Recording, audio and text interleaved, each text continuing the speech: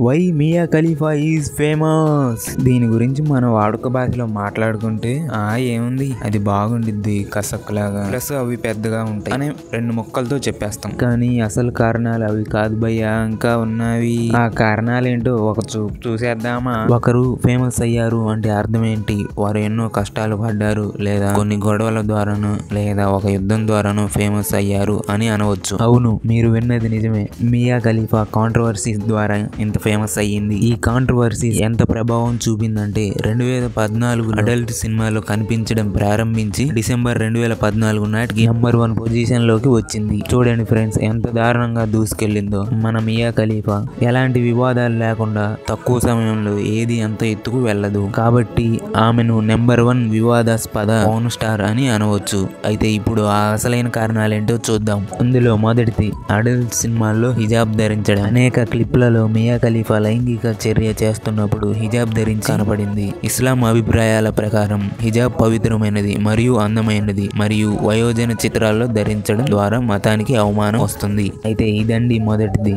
మరి number two చూస్తే లెబనాన్లో జన్మించింది మరియు ఆమె పది సంవత్సరాల వయసులో అమెరికాకు వెళ్ళింది మరియు ప్రస్తుతం ఆమె అమెరికన్. లెబనాన్ ప్రజలు ఇప్పటికీ ఆమెను లెబనీస్గా చూస్తున్నారు మరియు వారి దేశం పేరు ఆమెచే అవమానించబడుతుందని వారు కనుగొన్నారు. లెబనాన్లో ఎక్కువగా పద్ధతులు కట్టుబాట్లు కలిగి ఉన్న దేశంగా ఆ దేశ ప్రజలు భావిస్తారు. ఇది ఒక ముస్లిం దేశం కూడా. మూడవది ఆమె చేతిలో టాటూలు ఉండడం. ఆమెకు రెండు పెద్ద టాటూలు ఉన్నాయి. వాటిలో ఆమె ఎడమ చేతిపై లెబనాన్ జాతీయ గీతం యొక్క ప్రారంభ పంక్తులు మరియు మరొకటి ఆమె కుడి మణికట్టు మీద లెబనీస్ ప్రోగ్రెస్ కార్డ్ కలిగి ఉంది. దీని కారణంగా లెబనాన్ ప్రజలు క్రూరంగా ఉన్నారు. ఈ రెండు టాటూలు వివాదాలకు కారణంగా పనిచేస్తున్నాయి. నెంబర్ ఫోర్ అగ్రస్థానంలో ఉండడం. ఆమె నెంబర్ వన్ మరియు అత్యధిక అత్యధికంగా శోధించబడిన వయోజన నటి.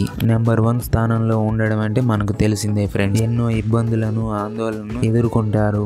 అయితే ఆమె టాప్ ఆర్డర్గా ఉండడం వల్ల కూడా వివాదాలకు గురవుతున్నారు. నెంబర్ ఫైవ్ మిడిల్ ఈస్ట్ ద్వారా మరణ బెదిరింపు.